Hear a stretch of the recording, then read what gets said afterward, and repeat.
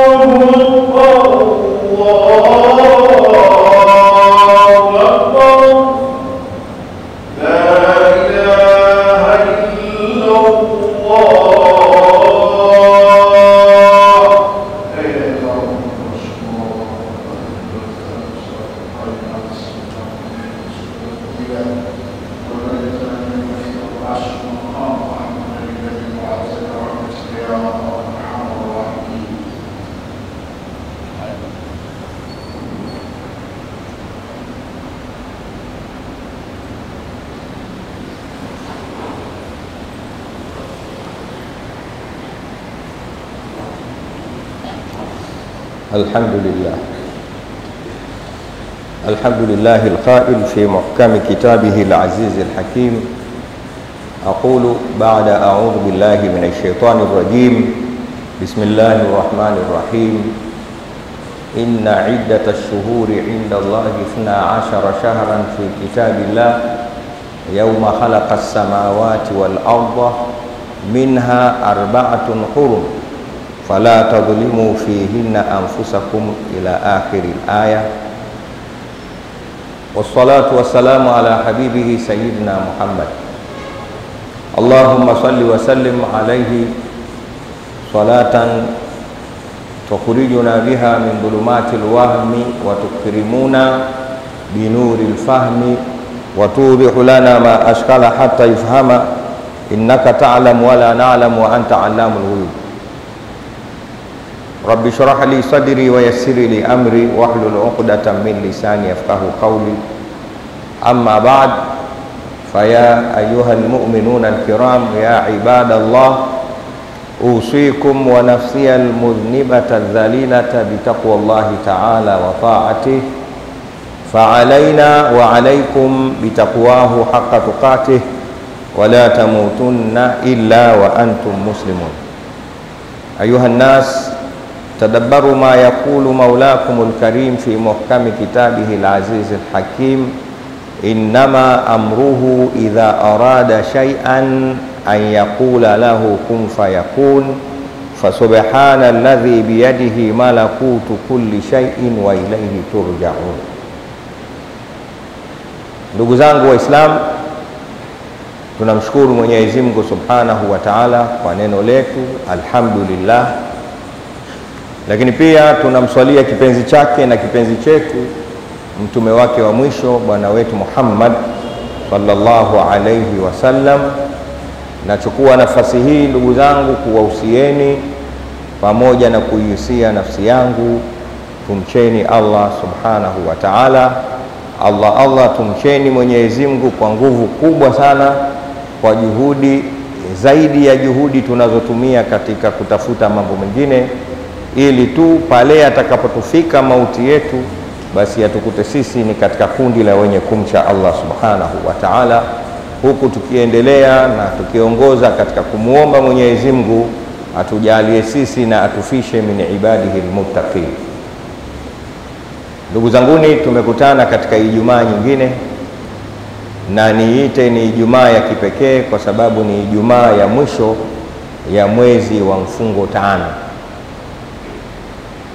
Hii ni Ijumaa ya mwisho katika mwezi wa mfungo tano wa mwaka huu elfu nne na arobaini na tatu. Mwenyezi Mungu ametuwafikisha na ametuchunga chunga, tumekutana katika Ijumaa hii. Maneno ya kusema siku zote yanakuwa ni mengi sana, hususan katika yale mambo ambayo kwamba tunakumbushana kila leo, na kama sisi shiari yetu kubwa Waislamu ni kukumbushana, fadhakir fa inna dhikra tanfau lmuminin. Alama yetu sisi ni kukumbushana, lakini pia sisi ni umma bora. Ubora wetu haupatikani katika lolote isipokuwa kama alivyotaliki Mwenyezi Mungu pale, tunapata umma wetu kuwa bora kwa sababu sisi taamuruna bilmarufi wa tanhauna anil munkar. Siku zote kazi yetu ni kuamrishana mema na kukatazana mabaya. Kwa hayo yanapelekea tukawa na maneno mengi sana, kwa sababu kazi yetu ni kuamrishana mema, kazi yetu kukumbushana, kazi yetu kuongozana, kazi yetu kuelekezana. Leo katika Ijumaa hii nimependa niwakumbushe neno ameyasema mmoja katika watu wakubwa waliotangulia, naye si mwingine ni Khalifa Amiri lmuminin Umar bin Abdul Aziz. Aliwahi kusikika akisema katika maneno yake, inna llaila wannahara yamalani fika fa'mal fihima.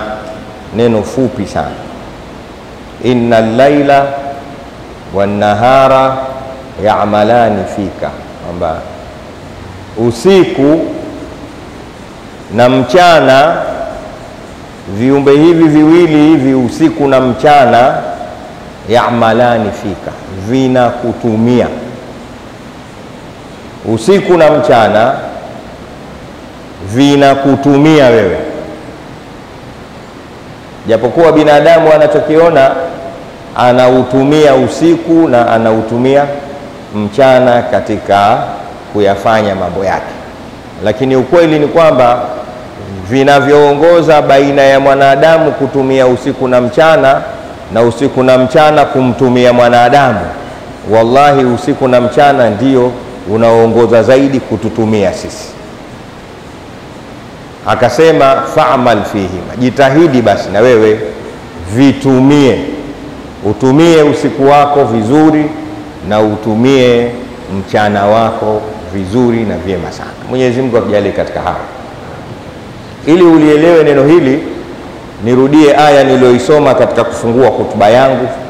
Nilisema aya ipo katika Qur'ani. Mwenyezi Mungu anasema inna iddata shuhuri inda Allahi ithna ashara shahran fi kitabi llahi yauma khalaqa samawati wal ard minha arba'atun hurumun, mpaka mwisho aya. Mwenyezi Mungu anasema hakika idadi ya miezi kwa Mwenyezi Mungu Subhanahu wa Ta'ala ni miezi kumi na mbili kama unavyohesabu wewe, kuanzia mwezi wa kwanza mpaka mwezi wa kumi na mbili ni miezi kumi na mbili. Mwenyezi Mungu anasema hilo sio jambo la kuzuka au la kupangwa na binadamu, fi kitabillah, hilo jambo lipo katika maandiko ya Mwenyezi Mungu Subhanahu wa taala, yauma khalaqa samawati wal ardh, tangu alivyoumba mbingu na ardhi, mpango wake ni miezi kumi na mbili ukamilike mwaka. Minha arbaatun hurum, katika miezi kumi na mbili hiyo inapatikana miezi minne mitukufu. Kwa vile leo hatutaki kuzungumzia masala ya utukufu wa siku kwenda nyingine, hatutoitaja mwezi gani na gani na gani katika hiyo miezi minne mitukufu.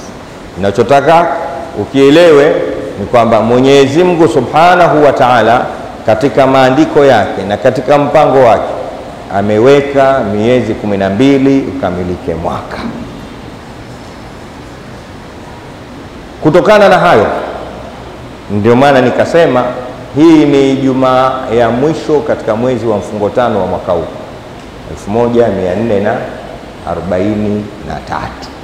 1443. Hii ni Ijumaa ya mwisho katika mwezi wa mfungo tano. Mfungo tano tunaita Kiswahili mfungo tano eh? Kiarabu unaitwa Swafar. Katika hesabu ya miezi kumi na mbili ni mwezi wa pili baada ya Muharram, mwezi wa kwanza, kisha unakuja mwezi huu. Tuko katika mwezi wa pili katika miezi kumi na mbili ya idadi ya mwaka mzima. Ninachotaka nikwambie na nikukumbushe, chukua maneno ya Imam eh, Umar bin Abdul Aziz, yeye amesema wazi, allailu wannahar yamalani fika, usiku na mchana vinakutumia wewe, faamal fihima, na wewe vitumie. Ushamaliza mwezi kamili katika miezi kumi na mbili, ushamaliza wa kwanza, na baada ya leo hakuna Ijumaa nyingine ndani ya mwezi huu, nao utakuwa tumemaliza mwezi wa mfungo tano. Umetumika kwa mujibu wa idadi takriban siku sitini tayari. Wewe umezitumiaje siku sitini? Usiku na mchana, usiku na mchana, kwa mara sitini umetumia nini? Sasa hivi akatokea mtu akakwambia, hebu niambie ulichokifanya katika miezi hii, nini umechotumia? Nachukua nafasi hii nikukumbushe katika ile hali yetu ya kusema sisi tunakumbushana kuwa mweledi, kuwa mzuri kukumbuka na kuishika haki yako ya kuzitumia siku zenyewe. Siku zinakutumia na wewe jitahidi uzitumie. Unaweza ukauliza namna gani siku zinanitumia? Jawabu ni fupi. Hao wanachuoni wakubwa wamesema eh, ashaba swaghira wa afna lkabira karru lghadati wa maru lashi, siku zote ku, kutembea usiku mara mchana. Hivi sasa hivi tuko mchana wa Ijumaa, tutaingia usiku wa kuamkia Jumamosi. Hivi vitu sio vinakuja ovyo ovyo, vinakutumia. Na namna kuvitumia vinafanya kazi mbili tu, ashaba swaghira, vinammaliza na kumfanya mtu mzima mwenye mvi yule ambaye kwamba leo ni mdogo, kesho atakuwa mzee.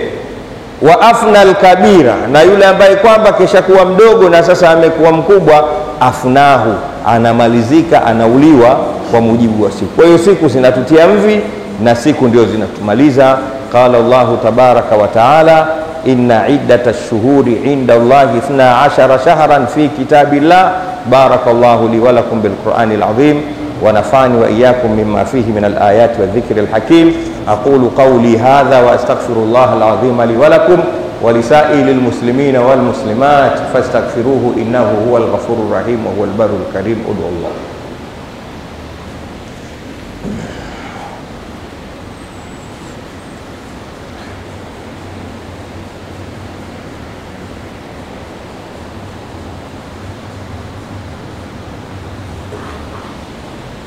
الحمد لله. وأصلي وأسلم على حبيبه سيدنا محمد بن عبد الله.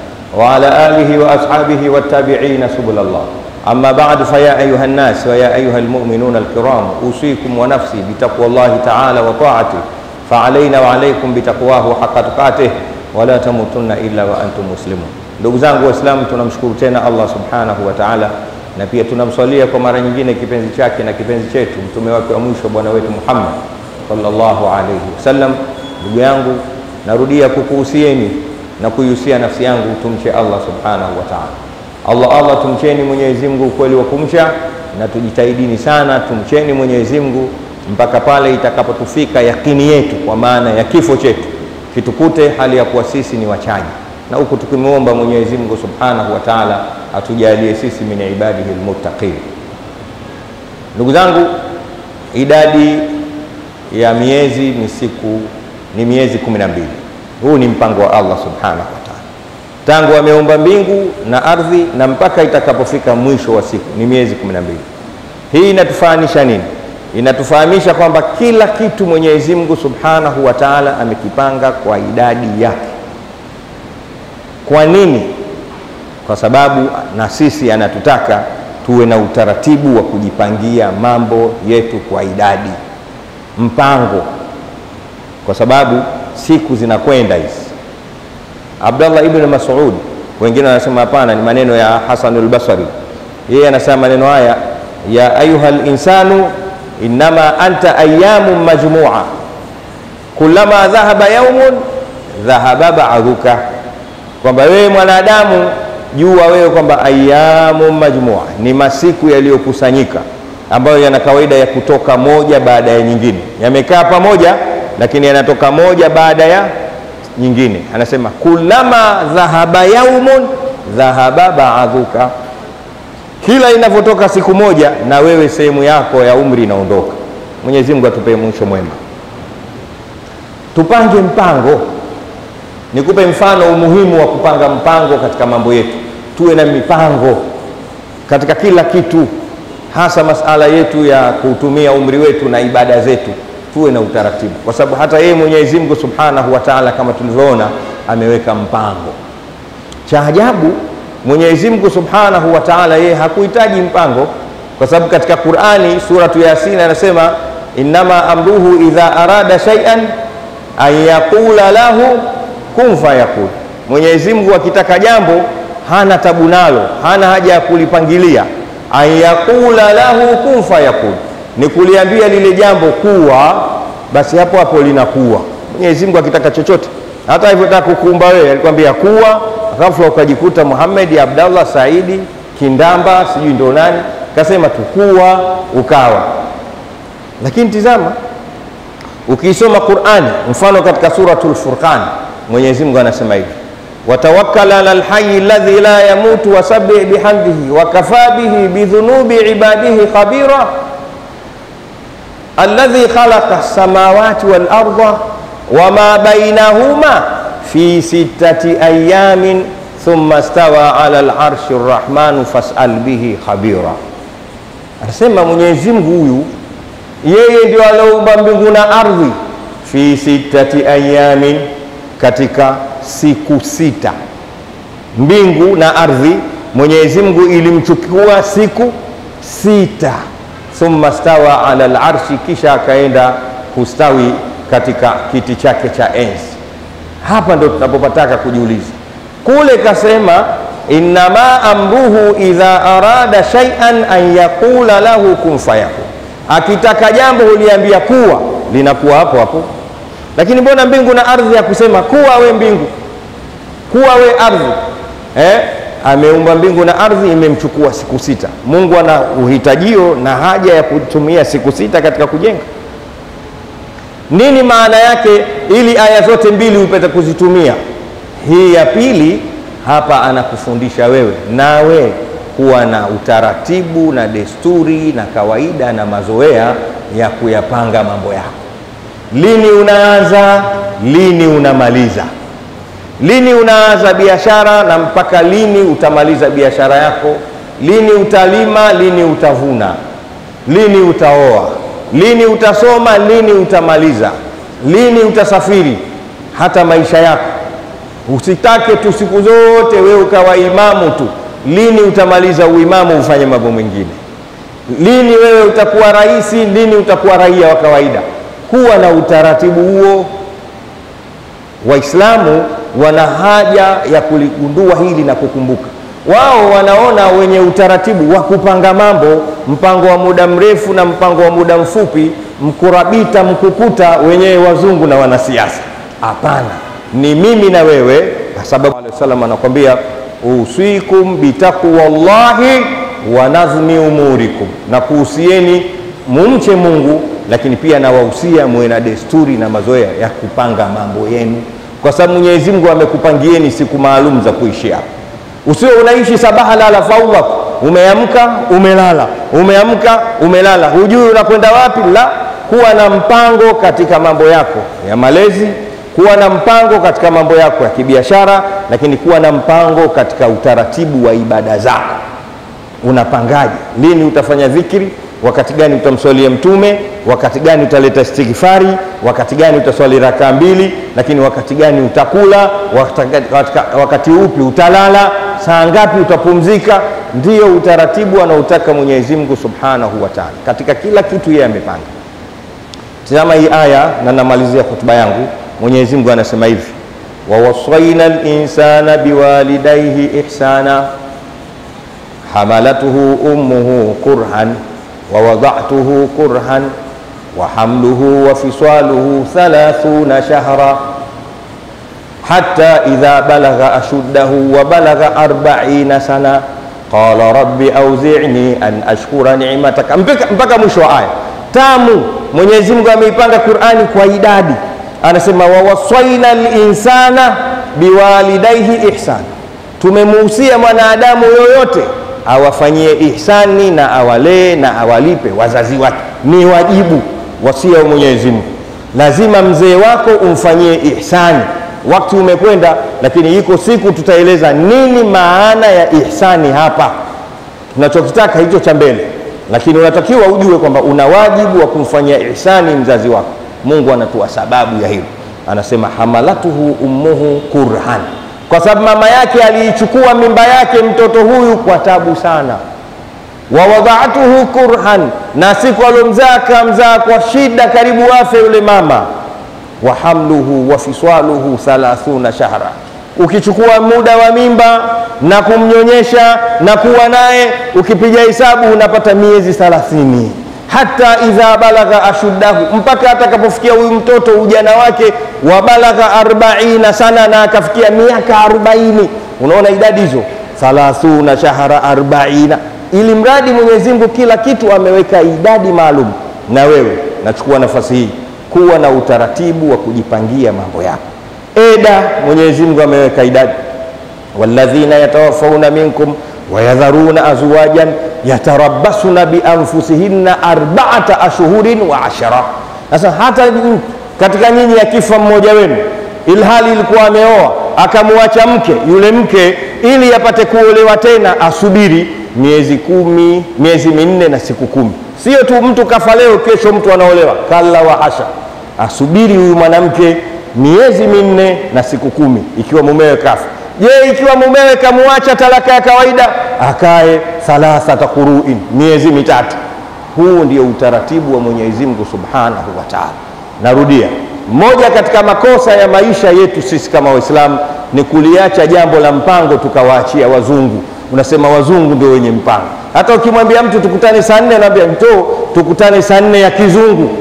Maneno ya kijinga hayo na maneno ya kutoujua Uislamu. Sema tukutane saa nne ya Kiislamu tukutane saa nne ya Qur'ani, tukutane saa nne ya Mtume Muhammadin sallallahu alaihi wasallam, tukiwa na utaratibu. Hata unafika wakati mtu unakufa, leo ndio roho inatoka, unakufa huku unacheka, lakini ukimwona mtu anatapatapa, anaogopa kufa, ujue huyo ana mpango. Akisikia oni tankaruka, huyo ana mpango wa maisha, anaenda faudha. Lakini yule aliyojipangilia anajua kabisa. Mmoja katika watu, shekhe wangu mimi, Shekhe Muhammad bin Ayub rahmatullah alayhi, namtaja katika hutuba hii, aliniambia siku mwaka aliokufa, kasema mwaka huu usikose siku fulani kuwa Tanga, kwa sababu kuanzia sasa mpaka siku nitakayokufa imebaki miezi mitatu.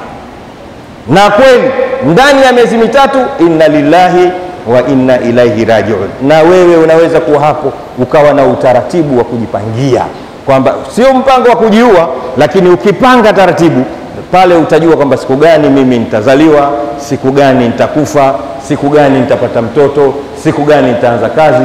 inna allaha malaikatahu yusalluna ala nabi ya ayuha alladhina amanu sallu alayhi wa sallimu taslima اللهم صل وسلم على سيدنا محمد بقدر حبك فيه وزدنا يا مولانا حبا فيه بجاه عندك فرج عنا ما نحن فيه إلهي لا نسألك رد القضاء بل نسألك اللطف فيه وعلى آله وصحبه وسلم. اللهم صل وسلم على سيدنا محمد طب القلوب ودوائها وعافية الأبدان وشفائها ونور الأبصار وضيائها وقوت الأرواح وغذائها. اللهم إنا نسألك كما أمرتنا فاستجب لنا كما وعدتنا. اللهم إنا نسألك زيادة في الدين وبركة في العمر وصحة في الجسم وسعة في الرزق وتوبة قبل الموت وشهادة عند الموت ومغفرة بعد الموت وعفوا عند الحساب وأمانا من العذاب ونصيبا من الجنة. وارزقنا النظر إلى وجهك الكريم برحمتك أرحم الراحمين. عباد الله إن الله يأمر بالعدل والإيسان وإيتاء ذي القربى وينهى عن الفحشاء والمنكر والبغي. يعظكم لعلكم تذكرون. فاذكروا الله العظيم اذكركم واشكروه على نعمه يزدكم ولذكر الله أكبر وأقيموا الصلاة.